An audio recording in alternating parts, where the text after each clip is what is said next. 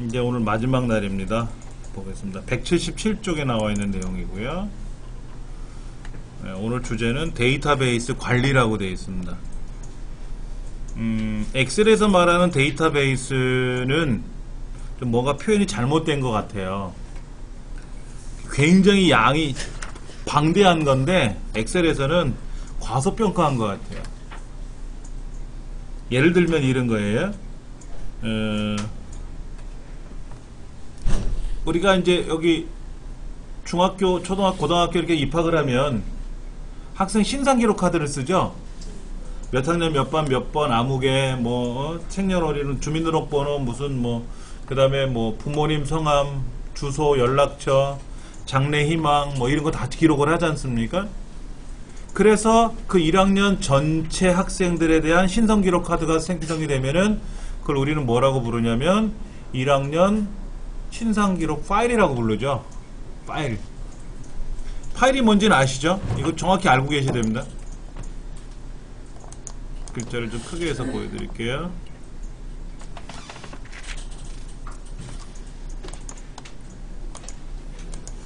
우리가 파일이라고 말하는 거예요. 파일. 파일이라는 것은 연관된 연관된 연관된이나 같은 자료들 같은 자료들의 묶음이라고 보면 되죠. 그러니까 예를 들어서 성적표 성적 파일이라든지 성적 파일이라든지 신상 기록 파일이라든지 또 어떤 게 있을까요? 뭐 직원들 급여 현황 파일이라든지 그 다음에 또 뭐가 있을 겁니까? 장비 장비 이런 기- 이런 물건들 장비 현황 파일이라든지 그 다음에 우리 개인 회원 파일이라든지 뭐 등등등. 굉장히 많아요. 이게 파일이에요.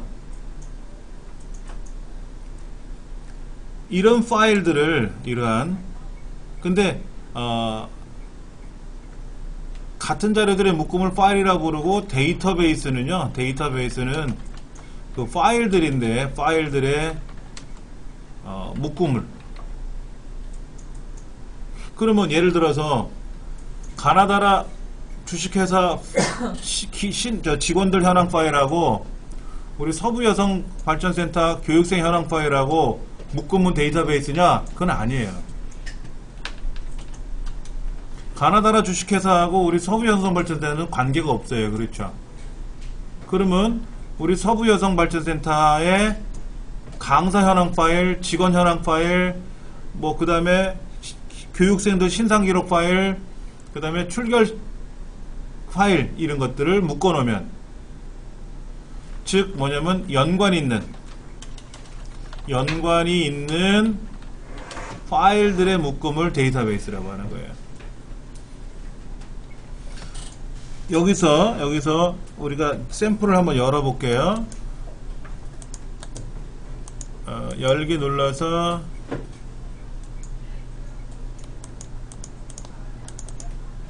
십장에 나와 있는 데이터베이스 혼자서 라고 하는 거를 열어서 볼 텐데요. 이런 거. 이것도 있고 아까 여기 또 하나 뭐가 있었냐면은 데이터베이스라는 파일이 하나 또 있네요. 예.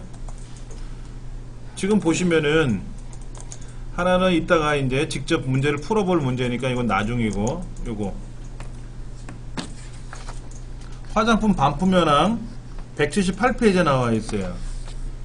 이 데- 화장품 반품 현황 보시면은 여기는 데이터를 정렬하라고 지금 문제가 나온 거고요. 또 자동 필터, 고급 필터에 가보면 뭐 부분합에 가보면 피벗 테이블에 가보면 어차피 내용은 동일한 거네요. 동일한 내용을 갖고 연습하는데 화장품 반품 현황이 있다면 누군가가 운영하는 화장품 가게가 있을 거 아닙니까? 그러면 고객들 고객들 연락처 파일도 있겠죠? 주문 현황 파일도 있겠죠? 반품 현황만 있는 게 아니라 주문 현황도 있어야 되겠지. 그러면 물건에 관한 재고 현황도 있어야 되겠죠? 맞습니까? 그런 거를 묶어 놓으면 뭐가 된다? 우리 가게 화장품 관련 데이터베이스가 되는 거예요. 자, 책에 있는 대로 다시 돌아가서 보면은요. 열 방향의 자료를 뭐라고 한다? 이거, 이거, 이거, 이거. 내용, 제품 코드, 분류, 반품일, 금액, 이렇게 써 있지 않습니까? 이렇게 써 있는 걸 우리는 뭐라고 부른다? 필드라고 부른다. 필드. 선생님 직장인데 있는데 나이 맞춘 나오는데요? 자, 보- 다시 한번 설명드릴게요. 이렇게 항목들이 있죠, 이렇게. 항목. 여기는 반품일, 여기는 분류, 제품 코드, 내용, 뭐, 금액, 이런 항목들이 보이죠. 이런 항목을 그냥 항목이라 그래요, 우리말로는. 근데 영어로는 얘를 필드라고 부른다. 아이템, 필드, 뭐 이렇게 표현한대요. 그놈이 그놈이지. 우리말로 항목, 이런 거지. 그 다음에 여기 한 줄 한 줄씩 있죠? 한 건들이 발생했잖아요. 그렇죠? 이거를 우리는 레코드라고 한다. 한 줄. 칸칸 한 칸은 항목. 필드라고 부르고 줄은 줄은 레코드라고 불러요. 즉 우리가 회원 가입 같은 거 해보셨잖아요. 회원 가입하면 위에서 아래로 항목을 쓰죠. 위에서 아래로 항목을 쓰지 않습니까? 네. 그런데 컴퓨터에 저장할 때는 한 줄로 저장돼요. 이름, 아이디, 패스워드, 뭐, 뭐, 뭐, 뭐, 연락처 이런 식으로 해서 한 줄로 쫙 저장이 되는 거거든요. 우리 개인 신상 기록 카드 같은 경우 보시면은 성적표 같은 경우도 그렇잖아요. 몇 학년 몇 반 몇 번 아무개 몇 점 무슨 점수 무슨 점수 몇 점 몇 점. 그게 우리가 볼 때는 종이로 출력을 하니까는 모양 있게 만들지만 컴퓨터에 저장될 때는 얘가 무조건 한 줄로 쭉 저장이 되는 거예요. 한- 그러면 이제 그 건수가 건수가 몇 건이냐에 따라서 500명 시험 봤다 그러면 500건이 나와야 되고 1000명 시험 봤다 그러면 1000건이 나와야 되겠죠. 그러면 대한민국 국민에 대해서 신상 조사를 하잖아요. 이번에 그 통계청에서 했지 않습니까? 그러면 건수가 한 5천만 건 나오겠죠. 5천만 건. 근데 그 한 줄이 어마하게 양이 많을 거란 말이에요. 어. 자, 이제 이거를 가지고 한번 해볼 거예요. 178페이지로 가서 보시면은 근데 말은 정렬이라고 또저 뭐야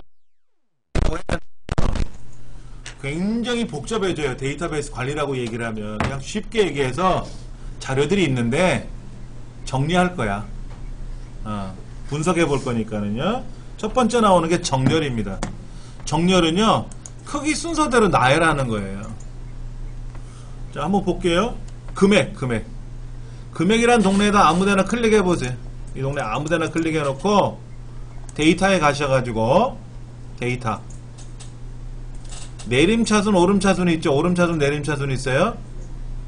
기억에서 히읗은 1, 2, 3, 4 순서대로 나오는 거고 가나다 순으로. 히읗에서 기억은 큰 숫자가 위에 홍길동이 위에 강감찬이 아래 이런 거예요. 눌러보세요. 내림차순 오름차순 눌러보시면. 오름차순 누르면 숫자가 작은 게 위에 큰 게 아래. 내림차순 누르면 큰 게 위에 작은 게 아래. 이렇게 가요 자, 반품 장소에다 클릭해 놓고 오름차순 그러면 강원도 충청도가 저 끝으로 가네요. 그렇죠? 가나다 순이니까. 선생님 그러면은 제가 그 복지 일할 때도 기억에서 희읍까지 80명의 노인분들이 있어요. 예. 그럼 그거 일할 때도 이거 기능 이용하면 그렇죠. 똑같이 이용할 예. 수 있는 거예요? 그런데 데이터를 입력하시는 게 중요해요. 자, 보세요. 지금은 세 번째 줄이 비어 있죠? 세 번째 줄이 비어 있잖아요. 이렇게 빈 줄이 하나 들어가 있잖아요. 얘가 만약에 우리 선생님이 잘 보셔야 돼. 얘가 빈 줄이 없이 붙어 있어. 윗동네 아랫동네 이렇게 붙어 있으면 정렬하기가 무척 어려요. 이거 안 돼요, 지금. 붙어 있으면 안 돼. 동네가 떨어져야 돼. 제목 동네하고 내용 동네가 분리가 돼 있어야 작업하기가 수월해요. 근데 만약에 얘가 붙어 있으면 어떻게 되느냐? 늘리면 또 안 되지. 규정상 붙어 있으려면 붙어 있어야 되고 그때는 얘들만 따로 블럭 잡아야 돼요. 따로 블럭을 잡아가지고 작업을 걸어야 돼요. 한번 해보죠, 뭐. 지금은 붙어 있으 떨어져 있으니까 제가 여기 날짜에다 클릭해 놓고 오름차순, 내림차순 하면 날짜별로 착착착 정렬이 돼요. 이게 제일 편하거든요. 그럼 붙어 있을 때는 어떻게 하느냐? 자, 이 동네에다 클릭하고 컨트롤 A 눌러보세요. 컨트롤 A. 그냥 아무거나. 컨트롤 A요? 예. 네. 그러면 그 동네만 블럭이 될 거예요. 이 동네에다 클릭해 놓고요. 컨트롤 A를 누르면 거기만 블럭이 되는데 네. 만약에 얘가 붙어 있으면 얘가 붙어 있으면 컨트롤 A 누르면 쟤도 블럭이 돼 위에도. 그러니까 컨트롤 A를 함부로 누르는 건 아니고요. 자 여기 여기 여기 여기서부터 시작해서 마우스로 쭉 내려가야 되겠죠. 데이터가 예를 들어 10만 건이든 5천 건이든 10건이든 간에. 근데 다행히도 이렇게 떨어져 있으면 컨트롤 A 누르면 제일 편하다는 거죠. 자, 그리고 나서는 여기에 있는 기억에서 히읗, 티읕에서 기억 이건 누르지 마시고 정렬이라고 하는 단추가 따로 있어요. 그렇죠? 그거 눌러보세요. 블럭을 블럭을 지금은 잡혀 있어요. 그렇죠? 예. 블럭을 잡고 하는 방법도 조- 조- 조- 어, 중요한 거예요. 왜냐면 데이터가 지금처럼 이렇게 위아래가 구분이 돼 있으면 굳이 굳이 블럭을 안 잡아도 되는데 이런 경우 한번 볼게요. 날짜 순으로 정렬 하는데요. 날짜 순으로. 그러면 1월 5일 날 반품한 것도 여러 건이 있을 수도 있잖아요. 지- 반품 장소별로 정렬 하고 싶은데 제주 지점에 반품된 게 여러 건 있을 수 있잖아요. 그러면 금액이 많은 것서부터 작은 것 순서대로 다시 정렬을 해야 될 때가 있어요. 1차 기준, 2차 기준, 3차 기준, 4차 기준, 5차 기준 이런 식으로. 그럴 때는 그냥 마우스를 클릭해 놓고 정렬을 누르면 안 되고요. 블럭을 잡고 요 정렬이라는 버튼을 누르시고 나면은요. 떠요, 이렇게. 첫 번째 기준이 뭐냐? 첫 번째는요, 반품 장소별로 할 겁니다. 오름차순을 할 겁니다. 이거 해보세요. 여기 반품 장소별로 하고 반품 장소. 자 여기 정렬 버튼을 누르면 정렬 버튼을 누르면 반품일이라고 나올 거예요. 이거 바꾸시면 돼. 반품 장소별로 하겠다. 즉 강원 지점서부터 충청 지점까지 있는데 강원 지점이 먼저 나오면 좋겠다. 가나다 순으로 하겠다. 오름차 순이죠. 근데 반품 지점이 강원 지점도 여러 개가 있을 수 있잖아요. 그럼 추가를 하나 눌러요. 기준 추가를 눌러서 이때는 반품 금액 금액 금액이 큰 게 위로 먼저 나오게끔 하자 이거지 내림차순 반품 금액이 큰 게 먼저 나오게끔 하자 확인 누르면 되죠. 그 다음에 반품 금액도 똑같은 게 또 여러 개 있을 수 있겠죠 네. 예를 들어서 우리 동사무소에서 그 어르신들을 대상으로 또는 복지관에서 어르신들 대상으로 업무를 담당하시는 입장이라면은 네. 내가 담당하는 인원이 한 2,000명 있어. 남자, 여자로 구별해야 돼. 근데 감- 남자도 여러 명, 여자도 여러 명이 될 거 아닙니까? 그럼 남자 같으면 나이가 많은 사람이 먼저 올 건지, 가나다 순, 이름 순으로 나올 건지, 지역별로, 사는 동네별로 나올 건지, 그걸 내가 정해야 되잖아요. 그러니까 일단 우리는 반품 장소별로 기준을 정렬할 건데, 같은 강원 지점이라면 금액 많은 게 먼저 나오게 하면 좋겠고, 그리고 금액이 똑같으면 반- 기준을 추가하는데 그때는 반품일 순으로 하고 싶다. 기준이 3개 들어간 거예요. 그리고 확인 누르시면 이건 뭐 여러분 마음대로 하시는 거예요. 확인 누르시면은 자 강원도 지점까지 쭉 나오고요. 강원 지점 나오고요. 강원 지점 중에서는 금액이 제일 큰 애가 위에 있고요. 경기 지점은 또 제일 큰 애가 위에 있고 경상 지점, 서울 지점. 서울 지점이 좀 제법 있나요? 근데 금액이 다 다르네요. 똑같은 금액이 다행히도 없네. 금액이 같으면 날짜가 빠른 날짜가 먼저 오게끔 아까 해놨잖아요. 그랬죠. 이런 것도 우리가 할 수가 있는 거죠. 정렬은 그런 거예요. 자, 그런데 그런데 생각해 보자고요. 반품 장소가 강원도에가 먼저 나오고 경- 충청도가 나중에 나오게 하진 않죠 보통요 서울이 먼저 나오지 않아요? 서울 지점 먼저 나오고 부산 지점, 인천 지점 뭐 이렇게 특별시, 광역시 그리고 나서부터는 경기도, 강원도, 충청도, 전라도, 제주도 이런 식으로 나오잖아요 근데 내가 이거를 그런 식으로 한번 해보고 싶은 거야 자 그러면 정렬에 가서 이렇게 부- 정렬에 가서 지금 다 기준을 삭제하고요. 다시 반품 장소를 내가 정렬을 해야 되는데 반품 장소를 내가 스- 정렬을 다시 해야 되는데 나는 어떻게 할 거냐면 서울 지점이 먼저 나오게 하고 싶어.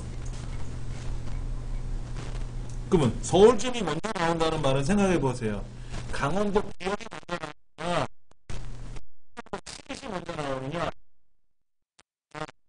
하는 건데 우리나라 말은 서울 그렇게 나오게 하고 싶대. 제주도 마지막으로. 그러면 가나다 순위 아니잖아요. 내 마음대로 순위잖아. 그럴 때는 오름차 순이 아니라 사용자 마음대로 써야 돼. 여기다. 여기 여기 여기 여기. 보이세요? 사용자 지정 목록에 클릭을 하면 뭐가 하나 뜨는데 목록을 한번 보세요. 여기에 서울 지점, 부산 지점 그런 거 있는가? 없죠? 없으면 새로 써야지 뭐 여기다. 서울 지점 그 다음에 무슨 지점이 있노? 음,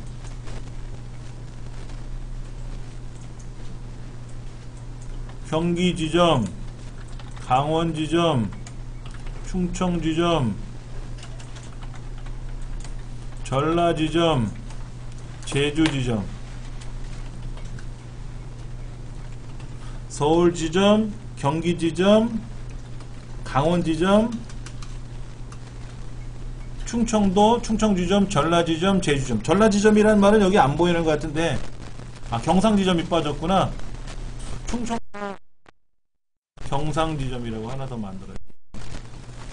서울지점, 경기지점, 강원지점, 충청지점, 경상지점, 전라지점, 제주점. 우리나라가 위에서 아래로 그냥 훑은 거예요. 그래서 이런 지점을 내가 하나 추가해야 돼.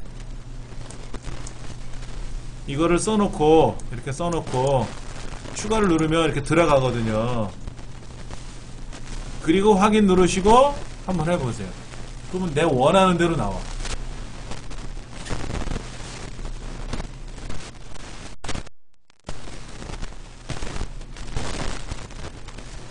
직책도 그래요. 직책.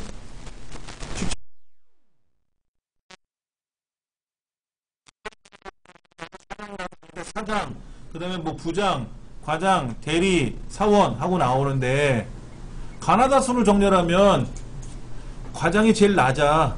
기억이라고. 그 다음에 부장, 아, 대리, 부장, 사원, 사원 다음에 사장이야. 이상하게 돌아가, 직책이. 자, 요거. 요 순서대로 하겠다 이거죠? 그러면 이제 서울, 경기, 강원, 충청, 경상, 전라, 제주 이런 순서대로 내가 원하는 순서대로 나오더라 이거지 이렇게. 그러니까 나이다, 이름이다 하는 건 가나다 순으로 따지면 돼요. 신월 1동, 신월 2동, 신월 3동 이건 동네별로 이렇게 쭉 정렬하면 되는데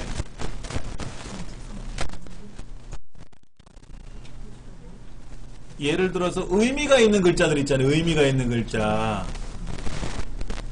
직책이라든지 부서라든지. 어. 여러분 우리나라에도 장관들 있죠. 장관들. 국무위원 있죠. 국무위원도 다 높낮이 있는 거 아시죠? 대통령 유고시에는 국무총리가 권한을 대항하고 국무총리 유고시에는 부총리가 권한을 유- 대항하고 부총리 유고시에는 어느 장관이 순서대로 유고를 한단 말이에요. 그 순서가 있어요. 그거는 정부 조직도에 가보면 나와. 그 장관 제일 오른쪽에 있는 장관이 레벨이 제일 계급이 낮아. 수선순위가 낮다 이거지. 뭐 우리가 신경 쓸 일은 아니겠지만은 어. 군대 계급도 있어요. 군대 계급. 공무원들 직책이 있잖아요. 1급, 2급, 3급, 4급 하면 또 알겠는데 뭐 서기 뭐 서기 주사보 주사 뭐 사무관 이사관 그러면 못 알아듣거든. 근데 그거를 가나다 순으로 정렬해 버리면 직책이 꼬여 버려요. 음, 직책 명칭도 그렇고. 그래서 그런 것들은 반드시 이렇게 정렬 버튼을 눌러 가지고 내가 의미하는 원하는 대로 이렇게 조건을 만들어야 된다 이거야. 예. 음, 그게 180페이지 나온 거예요. 181페이지 보시면은 반품 장소를 경기 서울 지점서부터 여기는 음, 전라 지점은 없는데 그냥 전라 지점도 넣어본 거예요 제가요. 그래서 해서 여러분들이 그 지점별로 정렬을 할 수가 있다라 이거죠. 자, 옆에 자동 필터라는 시트로 가볼게요. 뭐 굳이 거기까지 안 가도 여기서 뭐 해결할 수 있겠지만은 자 여기 보세요. 데이터가 기본적으로 날짜별로 입력이 된 것 같아요. 날짜별로 입력이 됐어요. 근데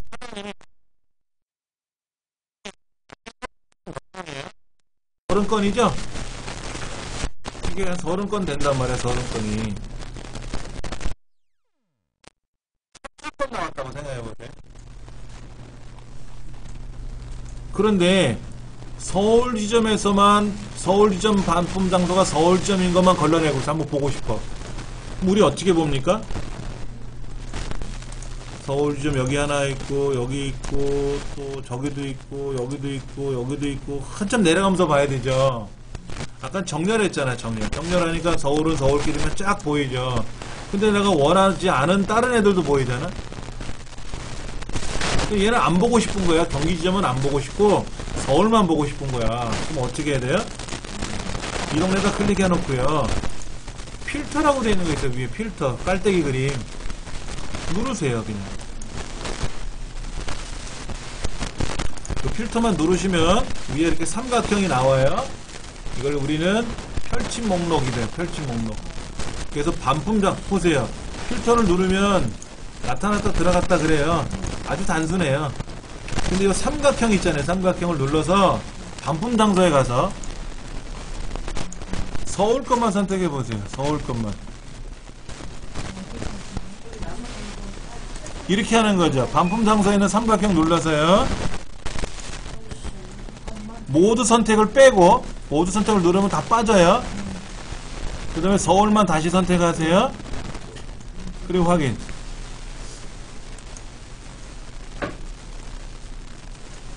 그럼 서울 것만 보는 거예요.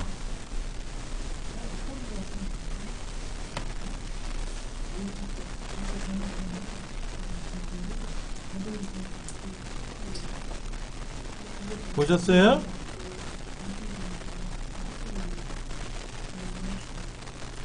자 그러면 반품 장소에 가서 자, 여기 보세요 여기 여기 여기 여기 크게 보여드릴게요 여기 여기 자 제가 여기다 필터를 이렇게 누르면 나타났다 들어갔다 그러는데 삼각형이 삼각형이 나타나게 만들어 놓으시면 돼요 이렇게.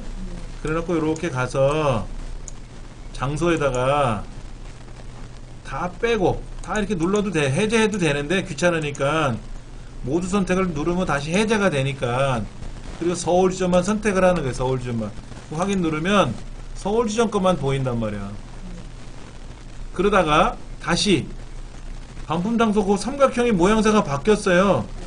다른 애들은 삼각형인데 얘는 거기에 이렇게 깔때기가 이렇게 걸려 있어. 걸러낸 깔때기가. 그래서 갖다 대보니까 서울 지점만 보셨군요 하고 떠. 그럼 거기 눌러서 필터 해제. 나는 서울 지점 말고 경기 지점만 볼래? 그럼 경기 지점으로 바꾸시면 되고. 바꾸시면 이제 경기 지점만 보이죠 그러다가 A 필터 해제 그럼 뭐예요? 다 봐라 이거죠. 다, 다 나와라 이거죠. 자 이번에는 포장 분량으로 반품된 거를 보고 싶어요. 사유죠 사유. 포장 분량. 그럼 사유에 가서 화살표 누르고 포장 분량이라는 것만 선택하시면 돼요 포장 분량만. 그 확인을 누르면 포장 분량으로 반품된 것만 쫙 보이더라 이거야 이렇게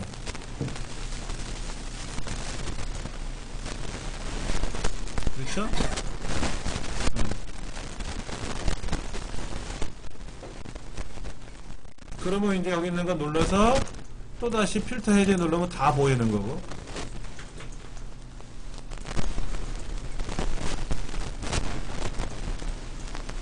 자, 그러면 문제 낼게요.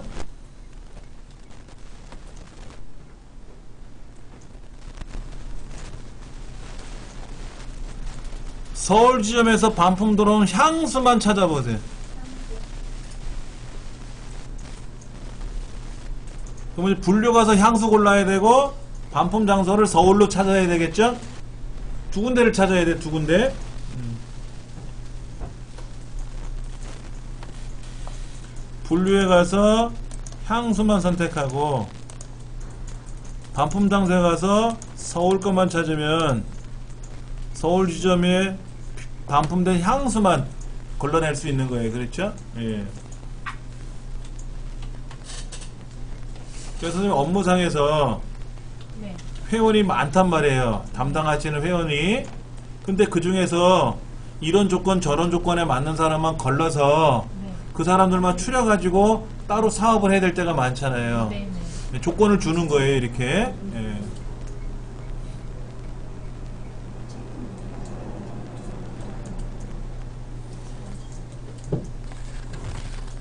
자동 필터는요, 굉장히 단순해요. 자, 다시, 여기 상단에 보시면, 지우기라고 있어요, 지우기. 지우기를 누르시면, 다시 다 나와요. 아까 같은 경우에는, 여기 가서, 뭐 했어요? 향수만 선택해 놓고 나서, 여기 필터 해제 눌렀잖아요, 필터 해제. 근데 필터 해제할 게 많거든? 지점도 해제해야지, 분류도 지- 해제해야지, 귀찮아. 그럼 지우기 누르면 조건이 다 지워지는 거야. 다 나오는 거야. 하기 싫어. 그럼 필터만 다시 누르면 다시 다 나오는 거고. 자, 이번에는요, 금액이, 금액이, 어, 얼마로 해볼까. 3만원 이상 되는 금액만 한번 걸러볼 거예요. 반품 금액이 3만원 이상인 것만, 아, 정정, 3만원이 아니라 5만원 이상인 것만 골라볼 거예요. 5만원 이상인 거. 그러면 금액란에 가서, 여기 보세요. 이거 다 누르면 안 돼요. 다 해제 눌러가지고, 5만원 이상만 이렇게 클릭, 클릭, 클릭 하는 게 아니에요. 이렇게 클릭하시면 힘들어요. 이렇게 하시는 게 아니고 얘는 그대로 두시고요. 여기 있어요. 여기 여기 여기 숫자 필터라는 게 있어요. 그 위에 다시 걸러내는 거예요. 여기에서 숫자 필터에 가서 5만 원 이상이라 했으니까 크거나 같은 거죠? 이상이라는 말은 크거나 같은 게 이상이잖아요. 작거나 같은 건 이하고요. 예, 크거나 같음을 눌러 여기 다시 보세요. 여기 금액에 가서 숫자 필터에 가면 크거나 같음이라고 있지 않습니까? 여기다가 5만원이라고 쓰면 돼 5만원. 탁 엔터 치면 5만원 이상이면 쫙 걸러내.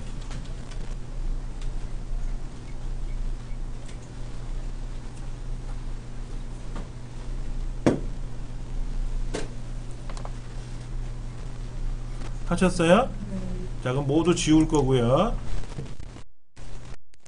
이번에는요 5월달에 5월달에 5월달에 반품된 것만 찾아볼 거예요 5월달에 그럼 어떻게 될까요? 이 날짜 쪽에 반품일에 있는 화살표 눌러서 날짜 필터에 가면 해당 범위 같음 이전 이후 이번 주 지난주 다음 달 이번 달 올해 어쩌고 저쩌고 오 날짜 굉장히 많아요 그럼 뭐라고 써야 될까? 같음을 써볼까? 같음? 근데 같음 쓰기가 애매한데? 5월달 걸 어떻게 찾을까? 5월달 거를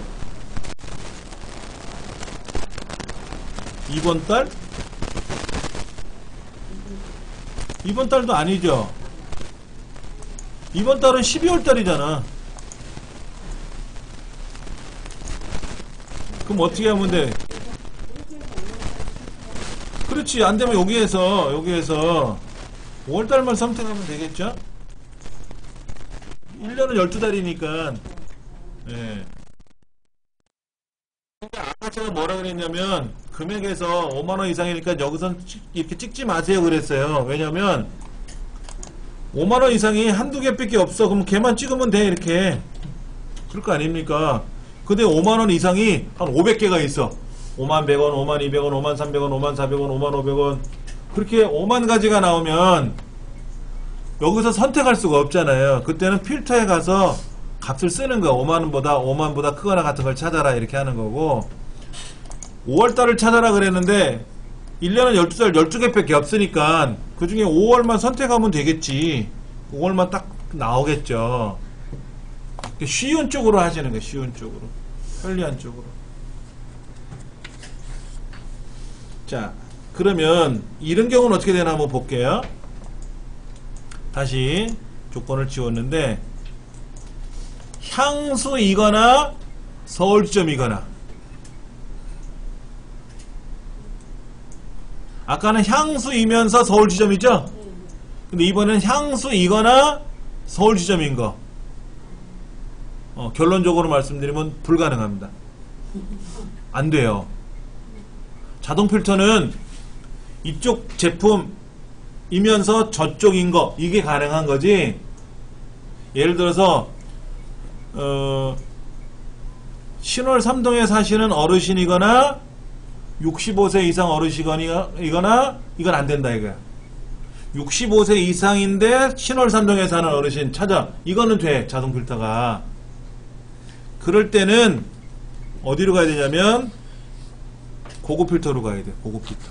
자동 필터가 아니라 고급 필터로 가는 거예요. 교재 188조. 음.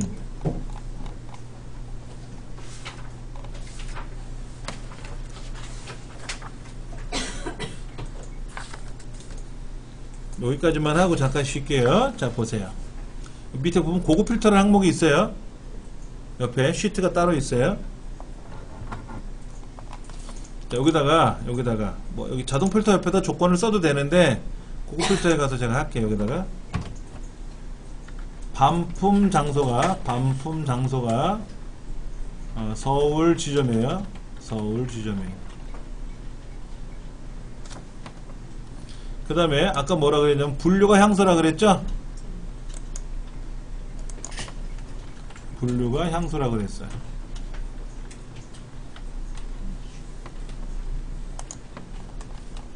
어? 분류가 앞에 있었죠? 분류라는 항목이 앞에 있었잖아요. 분류가 앞에 있고 반품 장소가 뒤에 있죠. 근데 상관없어요. 내 맘대로 쓰면 돼. 그래서 반품 장소를 앞에다 놓고 분류를 나중에 놔도 상관은 없어요. 자, 그런데 보세요. 요거는 무슨 말이냐면 이거를 읽을 줄 아셔야 돼.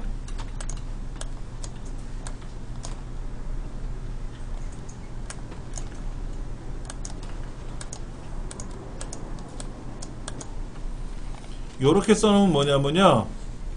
서울 지점에 반품된 거이면서 분류가 향수인 거. 이거는 서울 지점이면서 향수. 이거예요. 자, 요거는, 요거는 뭐냐면, 어? 줄이 서로 다르죠? 서로, 뭐 얘가 내려가든 제가 내려가든 서로 서로 이렇게 줄이 달라, 이렇게. 이렇게 달라. 이거는 뭐냐면, 서울 지점이거나 향수인 것. 아까 거는 서울 지점이면서 향수인 거. 이거는 뭐라고요? 뭐뭐이거나 뭐뭐인 거.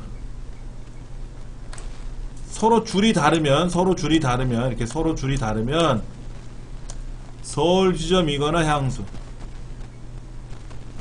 그럼 이거는 뭘까요? 제가 이렇게 쓰면 뭐가 될까요? 잠깐만요.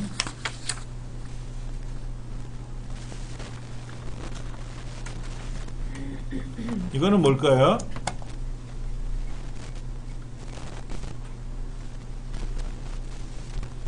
원래는요 이게 이렇게 생겼던 거예요 이거였어요 이거 이거는 가능할까요? 이건 무슨 말이죠? 분류가 향수이면서 분류 분류 분류 향수이면서 팩일 수 있어요? 향수이면서 팩일 수 있냐고 남자이면서 여자일 수 있냐고 성별이 그럴 순 없잖아요. 대신에 요거는 뭘까? 분류가 향수이거나 팩이거나. 근데 항목이 똑같죠? 이름이 똑같잖아. 그러니까 안에다 집어넣어. 이렇게 집어넣고 이렇게 쓰는 거예요. 얘는 이름이 다르니까 얘를 이 안에다 밀어, 밀어넣고 쓸 수는 없어요. 왜? 하나는 장수, 하나는 분류니까 다른 애인데 얘는 둘 다 분류잖아. 둘 다 분류. 그러니까 향수이면서 팩이 아니라 이거는 뭐다? 향수 이거나 팩 이거예요. 이렇게 조건을 내가 만들 줄 알아야 그 다음에 뭘 하든 말든. 그러니까 아까 원 가지고 어, 팩 이, 팩이거나 5만 원 이상이거나 이렇게도 할 수가 있어요. 예. 그 다음에 5월 달에 5월이나 6월 달에 들어온 것만 검색해라 이럴 수도 있어요. 13일 날 반품된 것만 찾아봐라 이렇게 할 수도 있어요. 조건을 만들면 되는 거예요. 뭐 어떤 조건이 있을 수 있어요? 조건, 조건. 조건을 어떤 조건을 만들 수 있을까요? 단순 변심으로 들어온 충청 지점에 들어온 것만 걸러라 이럴 수 있겠죠? 또는 단순 변심이거나 향수 제품이거나 이럴 수도 있겠죠? 그래서 우리가 여기다가 조건을 내가 걸 줄 알아야 된다 이거야. 걸 줄 알아야 된다. 근데 우리 책에서는 반품 장소가 서울 지점인 것만 걸러라 이렇게 한 것 같아요. 아 강원 지점으로 강원 지점으로. 이거는 뭐 어렵지 않지 쉽게 말해서 이렇게만 하는 거는 쉬워요. 이거는 굳이 고급 필터를 들어갈 필요 없이 자동 필터에 들어가서 강원점만 걸러내면 되잖아요 이렇게 요거잖아 요거 이렇게 여기만 나올 거 아닙니까 이렇게 걸러내는 건 어렵지 않지 예. 한번 한번 해보죠 자 먼저 마우스를 마우스를 음 요거다 입력을 하고요 요거다 클릭해도 돼 요거다 클릭해도 되겠지 그렇죠. 아무 데나 클릭하면 되겠죠? 자, 고급. 아까는 필터였어요. 자동 필터 였고요. 이번엔 고급 필터예요. 고급 필터가 좀 복잡해요. 예. 고급 필터 눌러서 뭐라고 뜨죠? 응? 확인 눌렀더니 다시 고급 필터 눌렀더니 이렇게 떠요. 그래서 확인 눌렀더니 목록이 어디 있니 물어요.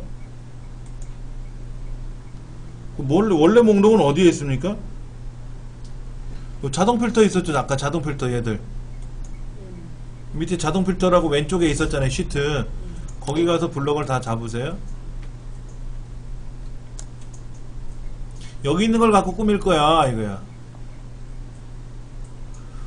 조건은 어디 있는데? 조건이 아까 여기 있었지 여기 이 조건이지 이게. 자 보세요. 자 여기 고급을 딱 누르면 묻잖아. 야너 데이터가 어디 있니? 어 데이터 내가 선택해 줄게. 확인 누르는 거예요. 그럼 여기 목록 범위라고 뜨잖아요. 목록 범위. 이 목록 범위가 어디냐면 얘가 아니라 왼쪽 밑으로 내려가시면 아래 밑으로 내려가시면 자동 필터라는 시트가 있잖아요. 그 동네 가서 얘들 반품이라는 글자서부터 쭉 블럭 잡는 거예요. 여기 반품일 여기서부터 네. 여기서부터 이렇게 블럭을 잡는 거예요. 이렇게 마우스로 쭉 드래그 하는 거예요. 자 조건 범위는 어디 있는가 보세요. 조건 범위 제가 찍었더니 조건 범위는 여기죠, 여기 여기 여기. 이게 조건이죠.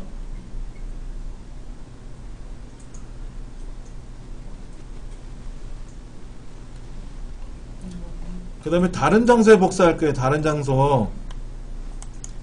다른 장소에 복사할 거예요. 복사되는 위치는 어디냐면은요. 여기 네 번째 줄서부터 할 거예요. 네 번째 줄서부터. 복사 위치라고 돼 있는 데를 마우스로 클릭을 해서 여기 A의 네 번째를 클릭하면 돼요.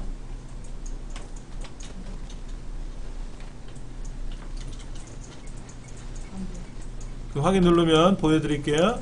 자, 걸러냈죠? 걸러냈다고. 잘 안 되신 분들은 제가 다니면서 도와드릴 테니까는요. 한번 189. 189페이지 보면은 조건을 거는 게 과정에 나오는데요. 사실은요, 지금 여기 어떻게 썼냐면, 제가 평상시 업무를 처리할 때는요, 이렇게 해요. 여기 데이터가 있지 않습니까? 이렇게 데이터가 있는데, 이 데이터 어디에다, 여기다가 이렇게, 여기다 따로 이렇게 조건을 만들어요. 여기다 뭐를 만드냐면은, 예를 들면은, 반품 장소가 어, 강원 지점이다. 이런 식으로 여기다 조건을 써요 이렇게. 조건을 쓰고 원 데이터가 있는 동네 있지 않습니까? 아까랑 똑같은 거예요. 아까는 다른 곳에서 명령을 걸었어요. 다른 동네에다가 조건을 썼잖아요 같은 동네에다 보통 조건을 쓰고 데이터를 마우스는 이 동네에서 클릭해 놓으시면 돼 원 데이터가 있는 동네 그리고 고급 필터에 들어가서 자동으로 블록을 잡아요 자동으로 블록을 잡았지 않습니까? 자, 여기 있으면 안 되고요. 여기 있으면 못 찾아요. 그러니까 이 동네에다 클릭해 놔야 돼. 원 데이터에다 클릭해 놓고 고급 필터를 누르면 알아서 블록을 잡습니다. 그리고 조건은 어디 있냐면 요게 조건이잖아요. 조건을 여기다 쓰는 거예요, 이렇게요. 블록을 잡아주면 되고 그리고 다른 장소에 복사를 하겠다라고 하고 그 복사되는 위치가 여기다 이거 여기 여기 여기 여기 이렇게 해주고 확인 누르면 여기 이렇게 다 데이터가 여기 출력이 돼요 이렇게 따로 이렇게 딱 출력이 된다 그런데 우리 책은 다른 곳에서 작업하려고 보니까 필터링을 많이 해본 경험이 없는 상태에서 다른 시트에서 드래그 하는 게 어려운 거예요 귀찮고 그래서 어렵게 느껴지는 거지 원래는 이 동네에다 놓고 작업하시면 수월해요 더더욱 보세요. 이것도요. 조건을 여기다 걸어요. 여기다가. 예를 들어서 반품 장소가 반품 장소가 서울 지점이고 사유가 향수다 만약에 이렇게 이럴 수 있지 않습니까? 자 그러면 아, 사유가 아니라 분류네 분류. 자 보세요. 이렇게 놓고 고급 필터 걸고 목록 조건 범위는 여기고 다른 장소에 복사할 건데 여기고 확인 누르면 착 나오잖아요 그래 놓고 얘를 그래 놓고 얘를 잘라내기 해서 다른 곳에다 붙이면 돼요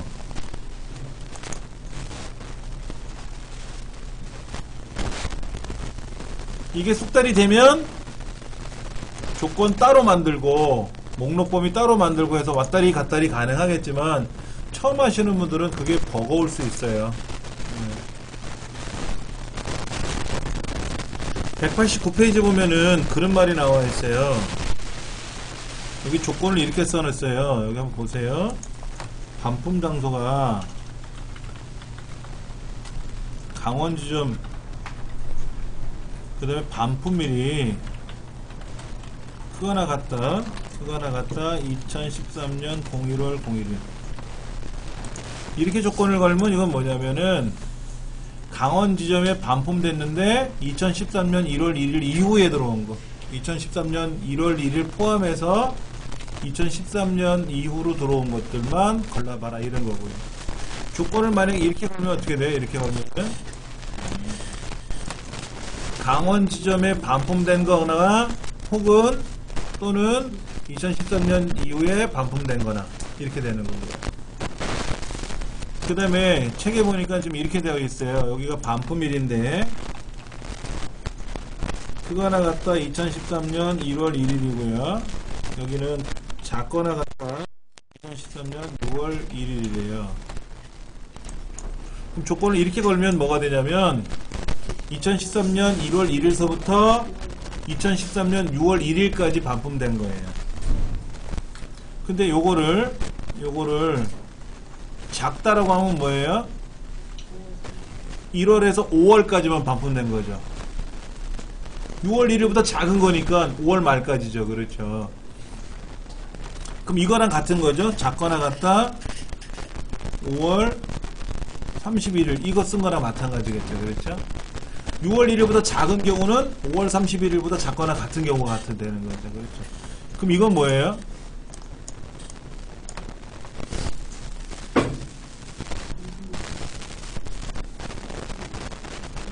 반품일이 2013년 1월 이후에 1월 1일 이후에 반품된 거나 5월 31일 이전에 반품된 거나 아무 때나 반품된 거나 그죠? 2013년 1월 1일 이후니까는 2015년도 되고 2013년 5월 31일 이전이니까 2000년도 되고 생기는 일에 지- 아- 지금까지 이렇게 쓰면 아무런 의미가 없는 어디를 따로 주는 거. 이런 식으로 조건을 걸면은 우리가 좀 수월하게 작업이 가능한 거예요. 그러니까는 조건을 걸 줄 알아야 조건을 걸 줄 알아야 뭐를 하든지 하는 거죠. 그렇죠. 그러니까 제가 제일 조건 거는 게 어려웠던 게 뭐냐면 도서관 가는 거, 도서관. 제가 여기 마포에 마포에서 살다가 양천구로 왔는데 마포구에 70년대에 왔단 말이에요. 73년도에 왔는데 시골 살다가 도서관을 갔어요. 국립도서관이나 뭐 아연 뭐 이렇게 시립도서관을 갔는데 책들이 있잖아요. 책. 십진 분류법이래나 뭐 문학 뭐 이렇게 있잖아요. 근데 모르겠어. 모르겠어. 근데 그 앞에 사서 하시는 분들 있잖아요. 직원한테 물어보면 알려주는데 혼날까봐 어린 마음에 끙끙대고 도서관 앞에서부터 책 앞에서부터 훑어봤어요. 이렇게 훑어봤어요. 끝까지. 그러니 얼마나 오래 걸려요. 이제 집에 와서 물어봤어. 책 어떻게 찾는 거냐 했더니 물어보면 된대. 그래서 어 그런가 보다 그랬지. 그 다음에 물어보니까 여기 가라 저기 가라 요렇게 요렇게 찾으면 돼. 근데 십진분류법을 모르겠더라고. 그 직원분한테 물어봤어요. 초등학교 때 물어봤더니 십진분류법 때 십분류 이런 거래. 뭐 문학이면 여기고 어디면 여기고 이제 서점을 가면 또 헷갈려요 이게. 아, 그 100, 200. 예, 예, 서점에 가면 되게 헷갈리는 거 너무 양이 많으니까. 근데 재밌는 게 뭐냐면 컴퓨터 도입이 되고 나니까 거기다 묻잖아요. 어떤 책 그러면 어디에 어디 있다고 이렇게. 그럼 어 1, 2, 3, 뭐 A 어디? 그럼 가보면 있으니까. 예. 아는 데만 가. 컴퓨터 책 파는데 거기만 가고 잡지 파는데 이런 거. 뭐 다른 문학책은 볼 일이 없어. 너무 양이 많아서. 그러니까 조건을 걸 줄 알면은 내 마음대로 다 하는 거예요. 내 마음대로. 제가 개인적으로 얘기를 드렸지만은 굉장히 많은 데이터가 이 안에 들어있는데. 예를 들어서 한 20만 건이 들어있다고 가정해 보세요. 근데 그거를 내가 다 일일이 찾으려면 20만 건 보려면 눈 빠집니다. 음. 저런 거죠. 그 결혼 중매 회사 회사 있잖아요. 결혼 중개 해주 중매 해 주는 회사. 거기서도 남자 회원이 가면 일단은 성별을 여자를 찾아야 되겠죠? 남자 찾아주면 안 되죠. 큰일 나죠. 문제가 되죠. 음. 근데 이 사람이 예를 들어서 나이가 44다 이게 40세 그러면 20살 찾으면 안 되겠지. 그럼 자기 나이에 플러스 마이너스 뭐 3세. 그러면 뭐 40세니까 37세에서 43세면 찾아봐라. 그럼 조건을 걸겠죠. 근데 거기 있는 직원들은 엑셀 조건을 걸 줄 모르니까는 컴퓨터 상에다가 조건을 걸어. 몇 세에서 몇세. 성별은 여자. 그 다음에 또 이런 것도 있죠. 난 이씨 집안이니까 이씨는 안 돼. 이럴 수도 있잖아요. 난 이씨여만 돼. 뭐 이런 사람도 있을 거 아닙니까? 이제 그런 조건을 거기다 넣어주면 거기에 해당하는 회원들이 나오겠죠. 그럼 그 회원들하고 연락을 주고받을 수 있게끔 뭐 조치를 해준다든지. 그게 결혼 중매회사에서 하는 방법이에요. 근데 시장통에 가면 이제 그 돼지 엄마들은 머릿속에 기억돼 있죠. 음, 돼지 엄마 아세요? 시장에 가면 항상 돼지 엄마는 한분 계시는데 돼지 엄마라고 보통 불려요. 사람들의 오지랖 많고 넓고 한 엄마들 아줌마들이 있어 시장통에 계시는 분 중에. 음, 근데 그 아줌마가 중매도 잘 서주고 그 사람이 중매를 서면 오케발이 다 다 돼. 성사율이 높아. 그리고 어디 무슨 일이 있는지 다 알아. 홍반장이야, 홍반장이 무슨 뭐. 어. 그런 사람을 옛날부터 돼지 엄마라고 불렀어. 처음 들어보세요? 그래서 나이트클럽 가면은 돼지 엄마라는 웨이터 이름이 많아요. 그 사람을 부르면 그 사람이 다 해줘. 다 해줘. 그게 돼지 엄마야. 그래서 이제 그 돼지 엄마들은 이제 뭐 메모도 하시고 이렇게 하겠지. 근데 이제 그런 분들한테 조건을 얘기만 하면 척척척 답이 나오는 거야. 엑셀보다 더 정확하게. 예. 자. 자, 이렇게 해서 우리가 이제 그 부분합을 구해보는데 부분합은 우리가 많이 해봐야 돼. 부분합이나 고급 필터를 많이 해봐야 돼요. 자, 부분합 가봅니다.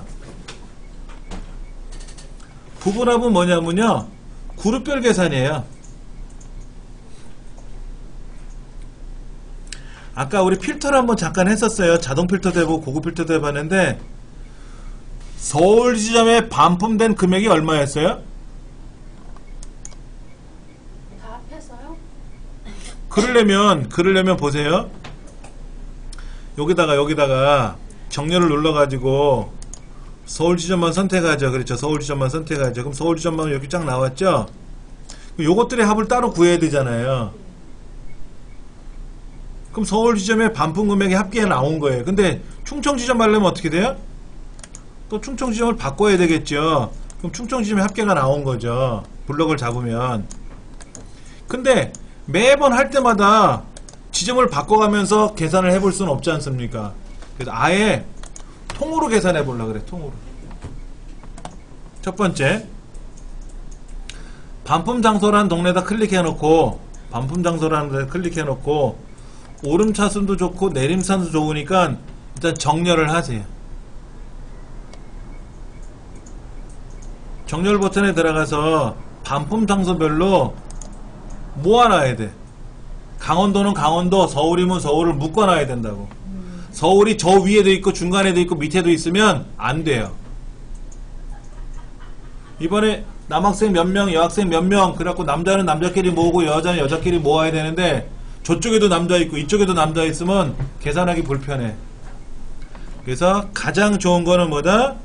정렬을 하는 게 정렬. 자, 그리고 부분합 들어가 보세요.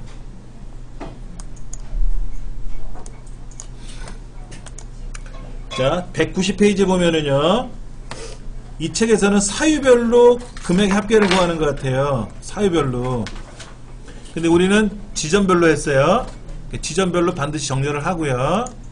그 다음에 부분합.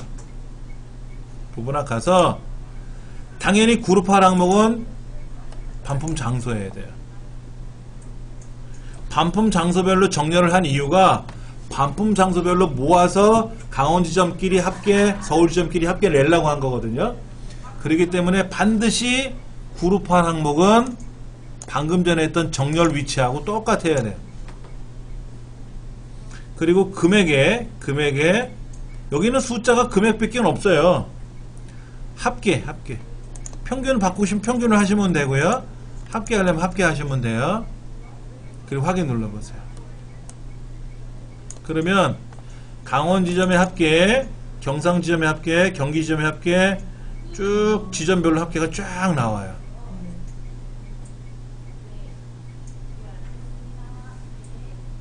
다시 부분합에 가서 이제 합계가 아니라 개수를 세 보세요. 개수를 바꿔 보세요. 아까는 금액의 합계를 구했는데 이번엔 금액의 개수를 선택할 거예요. 그 금액의 개수. 확인 눌러보면은요. 강원 지점은 5건, 경기 지점은 4건, 경상은 3건, 서울이 9건 제일 많네요. 개수로 나오는 개수로. 되게 편해요.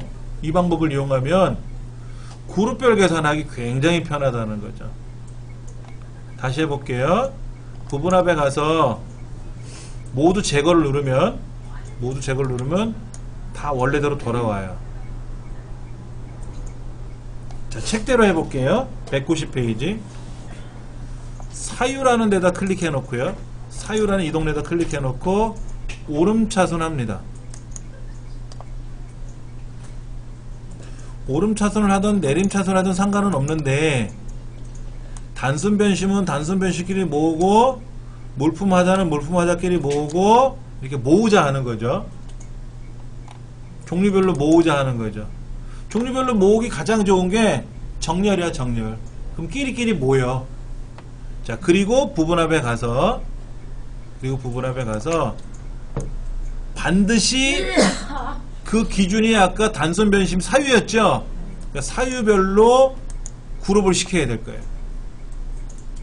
주거라고 사유별로 정렬을 시켜놨는데 부분합에 가서 엉뚱한 거로 그룹별 계산하면 안 돼요. 여기는 사유별로 그리고 금액 금액의 평균을 계산해 볼게요. 금액의 평균을 계산해 볼 거예요. 그 확인 누르면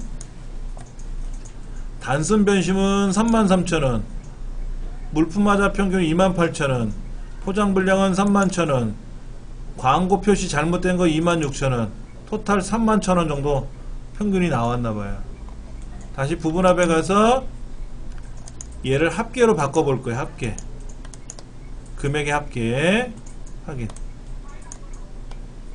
단순 변심 53만원, 물품 마자 22만원, 포장 분량 94,000원, 총 93만 2,400원 중에서 나오는 거예요.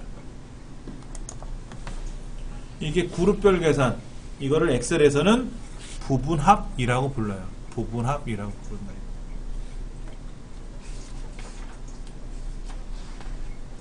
편해요.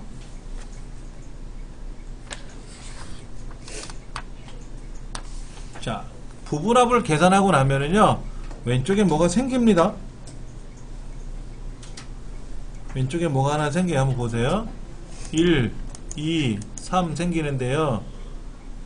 1번 누르면 전체만 나와요. 다 숨어요. 2번 누르면 그룹별로 나와요. 그룹별. 근데 그룹별을 펼칠 수도 있고요. 오므라칠 수도 있어요. 이렇게. 3번 누르면 다 나오는 거고요. 2번 누르면 그룹별로 나오는데 그룹이 4개예요. 지금요. 이제 그룹을 더하기 누르면 펼쳐지고요. 빼기를 누르면 오므라지는 거예요. 확대가 되고 펼침 다시 원위치가 되는 거죠. 이렇게. 그러니까 부분합으로 할수 있는 게 뭐냐면 우리 선생님 하시는 업무 중에 어르신들이 만약에 한 2,000명이 계시다고 생각해 보세요. 네. 남녀 따로따로 성별로 구분해야 될 테고요. 네. 그 다음에 또 연령별로 할 수도 있어요. 60대, 50대 뭐 이런 식으로 할 수도 있고 70대. 그 다음에 지역별로 무슨 동, 무슨 동, 무슨 동. 그래서 예를 들어서 동별로 하고 싶어, 동별로. 그러면 그분 사시는 동네가 있을 거 아닙니까? 네네. 여기 동네가 만약에 반품 장소다 이거지. 자, 그래서 그러면 동네별로 정렬을 먼저 하고 지역별로 정렬을 하고 그러면 예를 들어 신월 1동, 신월 2동, 신월 3동 뭐 하고 쭉 동네별로 모이겠죠. 네. 그리고 부분합에 가서 그 지, 지역별로 지역별로 나이의 합계를 구해볼 수도 있고 예를 들어서 여기 날짜, 사람 이름, 사람 이름의 개수를 세볼 수도 있죠. 그럼 뭐예요? 신호 1동에 몇 분 사시고 신호 2동에 몇 분 사시고 신호 3동에 몇 분 사시고 사람의 개수니까 이름의 개수니까는 인원수가 나오는 거지 인원수가 그 다음에 이제 연령 연령이 있다 이거지 여기 숫자가 있다 이거야 숫자가 있는데 그 숫자에 대한 평균을 계산해 보자 그러면 어느 동네는 어느 동네는 평균 나이가 몇 세 어느 동은 평균 나이가 몇 세 이런 식으로 나오는 거죠 평균이 그 다음에 이제 개수 뭐 나이를 개수 합, 합계 구할 필요는 없- 필요 없겠죠. 신월산동에 사시는 사람들 나이의 합계 이거는 안 하겠지. 근데 최대값 최소값은 구할 수 있거든. 나이가 제일 많으신 분은 누구고 제일 어리신 분은 누구고 뭐 이런 것도 계산해 볼 수 있고요. 여기 이제 금액에 반품 장소별로 그러면 지점별로 금액의 합계가 촥 나오게 할 수도 있고. 음, 이것이 이것이 부분합이라는 겁니다. 부분합. 부분합을 했을 때 왼쪽에 보면 전체를 보느냐, 전체를 보느냐, 그룹별로 보느냐, 그룹을 깨트려서 개인별로 보느냐, 이것도 가능하고요. 네. 선생님 그게 최대 몇 명까지 가능해요? 제가 노인분만 80명이고 아, 밑으로 밑으로 몇, 네. 몇 사람이나 하냐고요? 네. 100만 명 이상이요. 노인분만 80명이고 여성 장애인이 60명이고 남성 장애인이 40명 100만 명이니까 가능하죠. 뭐 담당하시는 인원 수가 10만 명 안 되잖아요. 100만 180명이고 180명이면 뭐 웃으면서 호흡할 수 있죠. 예. 100만 명도 하는데. 근데 100만 명을 처리하려 그러면 컴퓨터가 꿈뻑꿈뻑 거릴 거예요. 양이 많으면 컴퓨터 처리하는 게 좀 버거울 수 있는데 근데 이렇게 어. 하는 게 컴활이라고 생각하는 아니요. 컴활은 이런 자격증 시험 이걸 가지고 보는 자격증 시험이 있어요. 이렇게 엑셀로 가지고 하는 게 네. 컴퓨터 활용 능력 자격증 일명 컴활이라고 불리는 자격증도 있고요. 네. ITQ라는 자격증도 있고요. 우리 컴활 자격증은 월 수에 낮에 해요. 이 시간대에 월수 두번안 하니까는 빼주더라고요. 두번 나오기는 어려우시죠. 그렇죠. 네. 금요일날 야간에도 할 수 있어요. 금요일날 야간에. 그날은 말벗하고 예. 그러니까는. 자격증 과정을 공부하시는데 시간이 영 안 나시면 제 공부방에 오셔서 네. 동영상이 있으니까 교재만 준비하셔가지고 교재 어떤 걸로 쓰세요? 음 이, 이- 참고로 이렇게 보세요. 네. 제가 현재 수업하고 있는 교재가 이 교재 자료실에 가면 이제 나오는데 요거는 이제 2016년에 수업할 교재예요. 2016년에 수업할 교재고요. 여기 있는 거 여기 여기 바로 밑에 있는 것들이 있죠. 이렇게 날짜가 없는 것들이 바로 직전에 했던 것들이에요. 우리가 지금 하는 건 이제 커말은 이거거든요. 이거 길고 출판사에서 나온 커말 책 이거예요. 이거 필기 실기 이렇게 그러니까는 이 책을 여러분이 갖고 계시면 제 공부방에 있는 여기 커말 자격증 강의 내용 있잖아요 그렇죠 이런 거를 그대로 여기서 동영상에 보실 수가 있는 거예요 여기 제가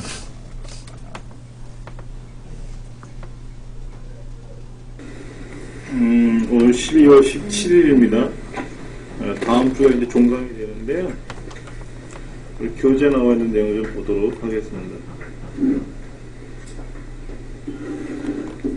여기 뭐 네, 메모장이 보이네요. 8페이지 보시면은요. 자, 여기 보시면은 쭉 시작을 하는데 함수 사전 유튜브에 이렇게 어떤 보시면 함수들이 잘 나왔을까라고 돼 있는데 뭐 제가 굳이 설명 안 드려도 책에 나와 있습니다. 이렇게 해서 보시면 되는 거예요.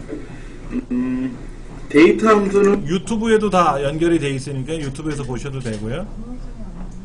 네, 동영상이 있는데 여기 지금 제가 이제 메모하는 내용에 여기는요. 메모장이 뜨는 바는 허옇게 보여서 그런 거고요.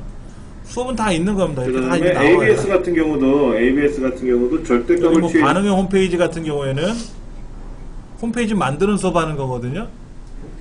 이렇게 만드는 거를 하는데 바꿔놓은 거 한번 보여드릴게요. 인기 검사라고 했는데 여기다 뭐 포털 사이트라고 한번 제가 바꿔볼게요.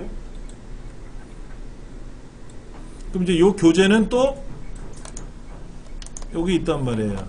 상단에 가면은 교재 자료실에 가시면은 요거거든요. 이 책으로 하는 거거든요. 근데 이 책이 있으면은 여러분이 또 그 수업을 들을 수 있는 거고, 예.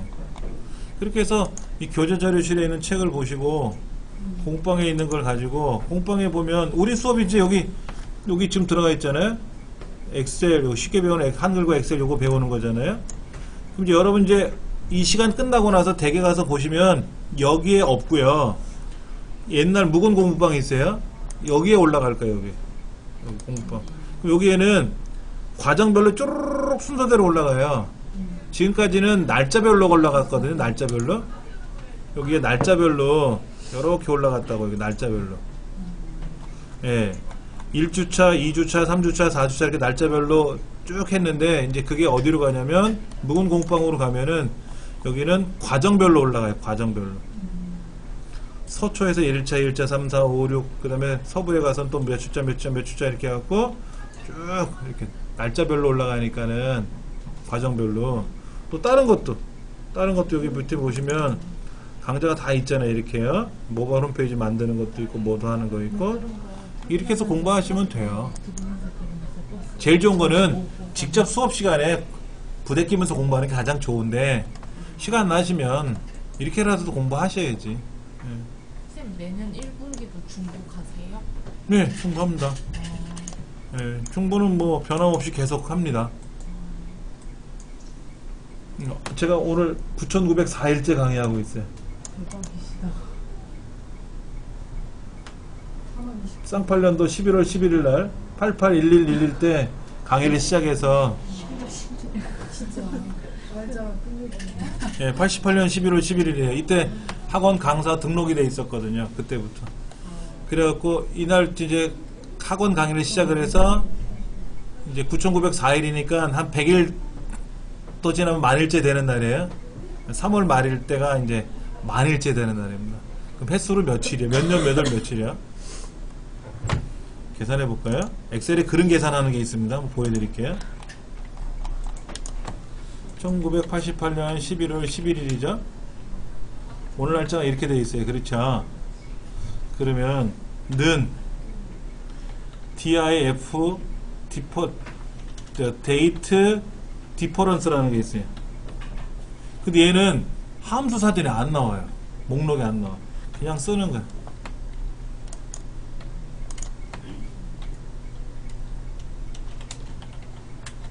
(27년) 만 (27년)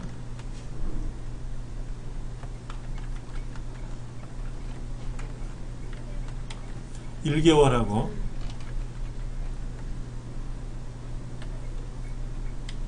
13일 됐어요.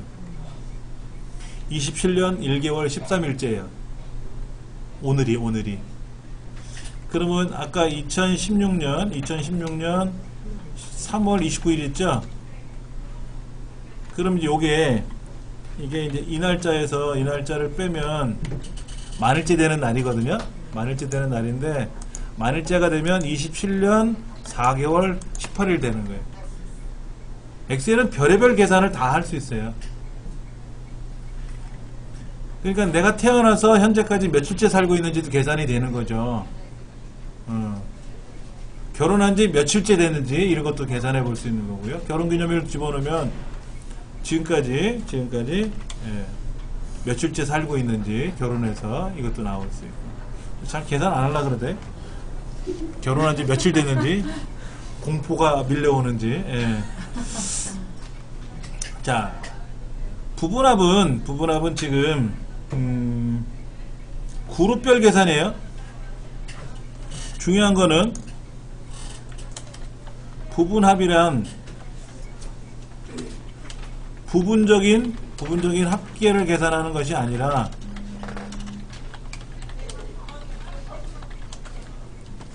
아니라는 거예요. 이건 아니고 뭐다? 그룹별 계산을 하는 것이다. 이게 맞는 말이에요. 이게 중요해요. 말은 부분합이라고 써 있는데 영어로는 subtotal이라 그래요. subtotal.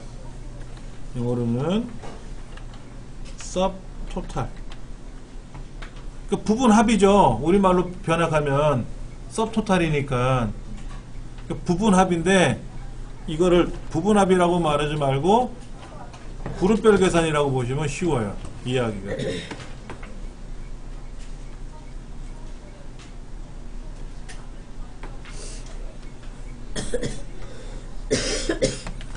자, 하나 좀 더 볼게요.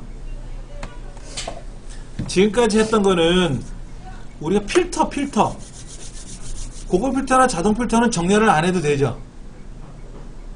날짜별로 정렬을 안 해도 아까 경기 지점, 뭐 서울 지점 이런 거 정렬 안 해도 서울 지점만 걸러라 그러면 서울 지점만 착 나오잖아요. 그렇죠. 그런데 부분합의 가장 큰 단점이 뭐냐면 정렬을 꼭 해야 돼요. 그리고 지점별로 정렬을 하고 나서 계산하면 지점별 계산만 돼. 사유별로 정렬을 하면 사유별로만 계산이 되는 거야. 그런데 이런 거 있어요. 서울 지점, 지점도, 여기 다시 보세요. 여기 자세히 보시면 지점이 있는데, 지점이 있는데, 서울 지점, 충청 지점, 뭐, 강원 지점, 여기 제주 지점도 있지만, 서울 지점이면서도 향수가 있을 수 있고, 팩이 있을 수 있고, 기초 화장품이 있을 수도 있잖아요. 그러니까 한쪽은 분류로 보고, 한쪽은 장소별로 보면, 이렇고 저럴 수도 있는데, 이거는 부분합에서 계산이 안 된다라는 거예요. 그래서 나온 게 피벗 테이블이에요. 피벗 테이블 한번 해볼게요. 이게 쉬워요. 마우스로 드래그 드래그 하는 건데 자, 먼저 이 동네에다가 이 동네에다 클릭해 놓고요. 삽입에 가서 피벗 테이블을 할 겁니다. 피벗 테이블을 누르시면 이렇게 블럭을 잡아요. 여기 있는 걸 가지고 뭐 할 거니? 라고 묻는 거예요. 오케이, 나 여기 있는 거 갖고 할 거야. 그런데, 그런데, 이걸 갖고 뭐를 만들 거니? 어, 지켜봐도 내가 알아서 할 거니까, 확인. 그럼 이런 게 생겨요, 이렇게. 이런 게 생긴다고.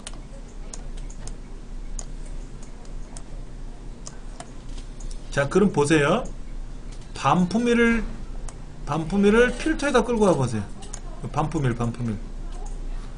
반품일이라는 항목을 끌고 필터라는 곳으로 이렇게 오시면 돼요. 이렇게 오시면 반품일 딱 들어가요.